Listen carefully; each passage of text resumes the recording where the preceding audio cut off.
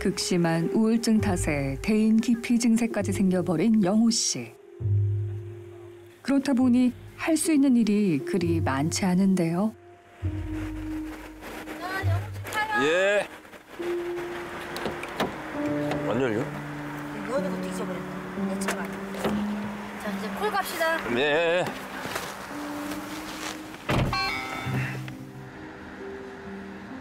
간신히 고한 대리운전 일도 지인의 도움으로 시작할 수 있었습니다.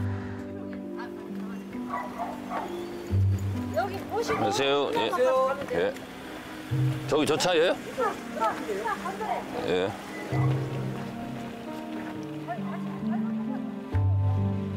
외진 시골 마을이다 보니 하루에 할 수 있는 대리운전 일도 그리 많진 않은데요. 네. 그마저도 대인기피 증세 탓에 힘든 일이 허다하지만요.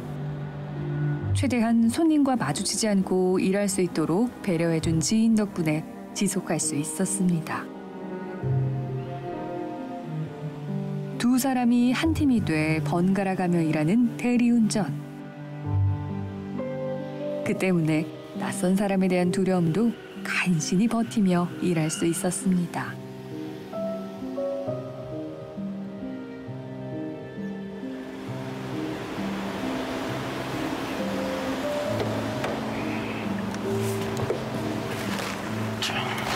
어디, 예. 출발하지. 예, 어디로 가죠? 이제 주공 LH에 지금 손님 태우고 가서 네. 김 사장 태워야 돼요.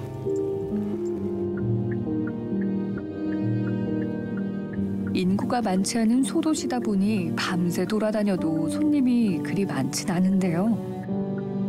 때문에 손에 쥐는 게 그리 많진 않지만 그래도 할 수 있는 일이 있다는 게 다행이다 싶습니다.